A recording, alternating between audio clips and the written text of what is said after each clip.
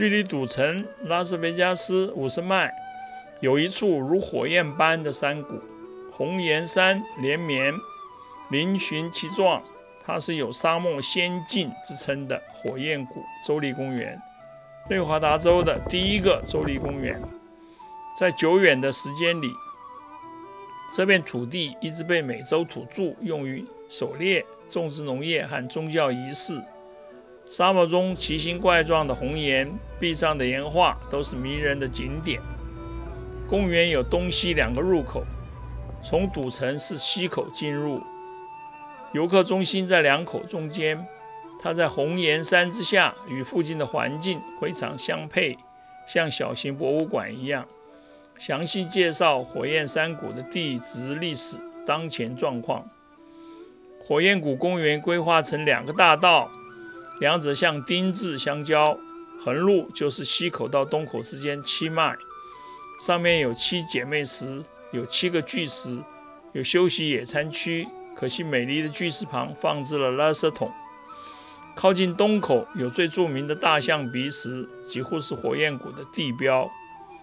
直路在游客中心旁，一直往北走，沿路有很多景点。第一个是鼠标的坦克。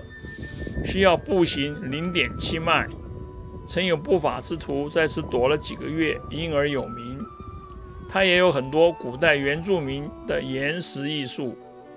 再过来是彩虹远景，山谷颜色像彩虹般，荒野中开出的一条路，把五颜六色的峡谷像彩虹般呈现。在这条路上，我们遇到了一一大群大角羚羊。十几只羚羊，有老有小。老羚羊的双脚又大又弯，看起来好重。它们有黑有白，自由自在在草原上徜徉。在靠溪口附近，还有一条小支线，有一个巨石。公园做了铁楼梯，可以走上去看古代人留下的用具和岩石艺术。小路转弯处有一个天然拱门，经过风吹雕塑。硬的石子留下，软的被吹散，刚好留下漂亮的拱形门。为了保护它，公园规定只能在下面拍照留念，不能攀爬。公园的露营区就在这条路上，两个露营地，七十二个单位，设施包括萤火坑、水、野餐桌，附近有房车营地和沐浴露营地。公园规定，在此露营入夜之后，只能留在营区，不能去夜游。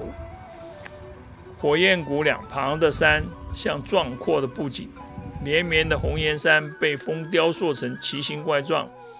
仔细看，可以找到神似某物的红山。慢慢欣赏，找寻特殊之处，自有一番乐趣。这个地区被称为火焰山，不只是它的山是火焰山，更因为它是。夏天高温到百度以上，公园强烈建议夏天不要在阳光下远足徒步，高温可致命。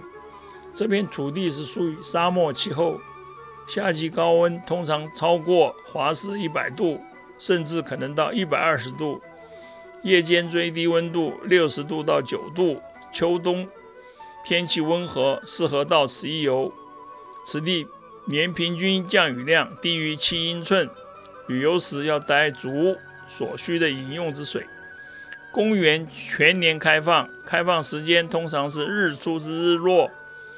游客中心开放时间是上午九时至下午四时三十分。门票外州车十五元，内华达州十元。